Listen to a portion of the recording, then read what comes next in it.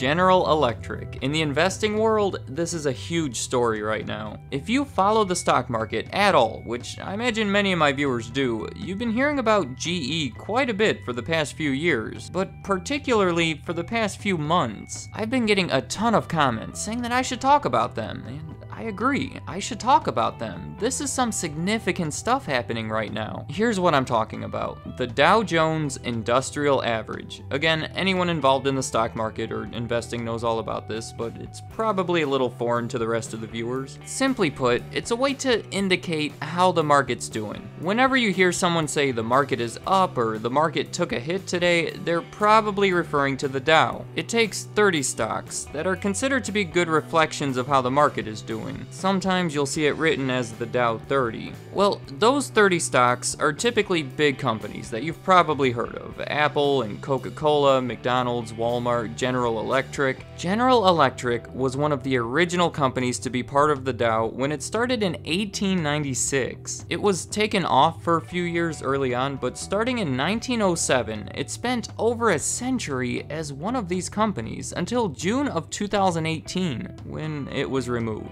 It was replaced by Walgreens, and the reason it was removed is because it no longer reflects how the market is doing. Over the past few years, the market's generally been going up, while GE has rapidly been going down. While the rest of the economy does well, GE struggles. And I don't want to sound like I'm exaggerating anything, they're still being traded on the stock market, they're still one of the biggest companies out there, but they've been taken down a notch. They're still in the league, just not an all-star anymore. Here's a graph of their stock price over the past 10 years. On the left side there, at the end of 2008, the beginning of 2009, they had a really significant decline. It was during the recession and virtually all the stocks were impacted, but maybe even more so for GE. They came really close to shutting down right there. It had to do with their reliance on short-term funds, but in the end, it took the involvement of Warren Buffett and a hefty bailout from the government to get them through it.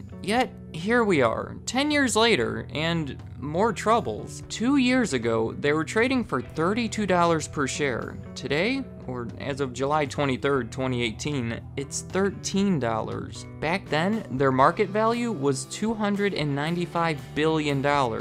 Today, it's 113 billion. This is meaningful stuff. They've lost 182 billion dollars in value over a 2-year span. They've lost more value than they currently have. The big question on everyone's minds is whether this is the time to buy or sell. On one end, this is General Electric, typically considered to be a safe and sturdy investment. A company like that has to make a rebound, and this is the time to take advantage of an abnormally low price. And on the other end, well, just look at this. That may continue to fall, so maybe it's just smart to stay away. I don't have the answer. I'm not even interested in the answer right now. I'm interested in General Electric. Let's get away from all the investing talk for a while because this is a historically significant business, and I just want to make sure we give them the proper respect. This is one of those companies that I'm sure you've heard of. You've likely seen their name on some light bulbs or appliances, but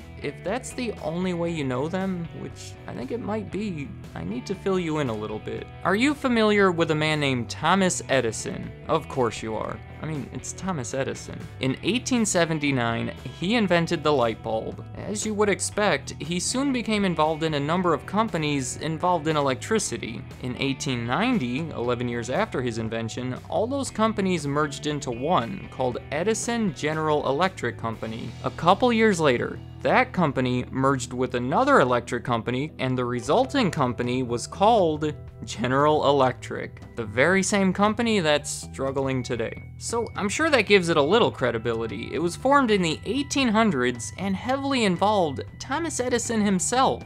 Now, quite a bit happened over the next 126 years, and I would love to cover all of it in more detail sometime in the future. But today, we have a lot to get to, so I'll just say that over time, GE was one of the most innovative and inventive companies you've ever seen. They did start by dealing in electricity, as their name suggests, and ever since, they've been involved in seemingly everything. They've made a big and early impact in the industries of home appliances, jet engines, nuclear power, television and radio, medical devices, the list just keeps going. For example, they made the first American jet engines. And do you know the television network NBC with The Voice and The Tonight Show and all of that? GE helped start it in the 1920s. They were involved in radio back then. They ended their involvement soon after starting it, but then bought it back in the 1980s, only to sell it to Comcast not too long ago. And I know I'm all over the place here, but that's sort of because General Electric is all over the place. They've bought and sold numerous companies throughout the years and had their hand in numerous industries.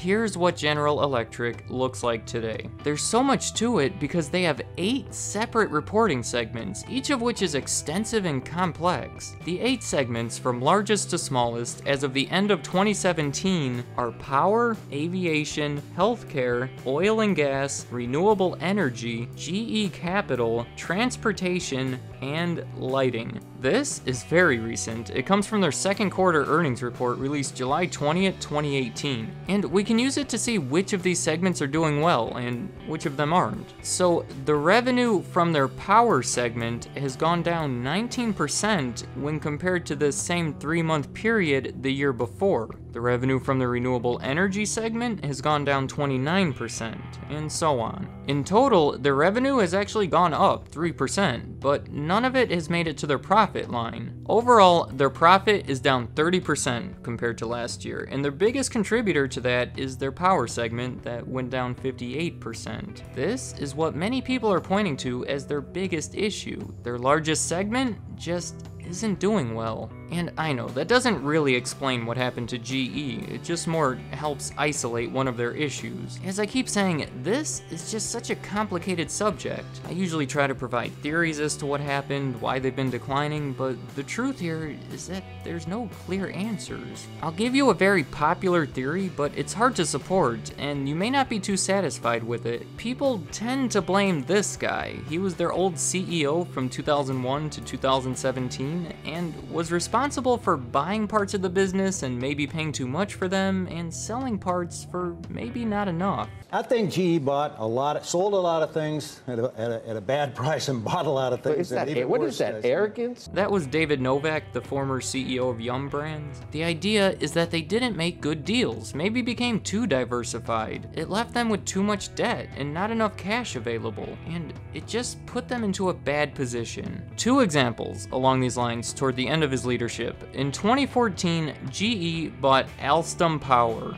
This is their power segment. Remember their biggest segment that's not doing so well? So that could suggest that this was a poor acquisition. In 2017, GE bought the oil giant Baker Hughes, and now they're already looking to get rid of it. On the other end, in 2016, they sold their appliance business. So that GE refrigerator that you see at the store isn't even made by GE anymore. There were just a lot of deals like this that may not have been too great for the company. In this article from Bloomberg from Drake Bennett, he says a longtime GE analyst has calculated that GE's total return on these acquisitions has been half of what the company would have earned by simply investing in stock index mutual funds. So there were definitely issues during this time, but of course, if you look back before 2001, there were different issues, so I don't want to make it appear like this was all one person's fault. There's plenty of blame to go around. And as of 2017, GE has a new CEO, it's John Flannery.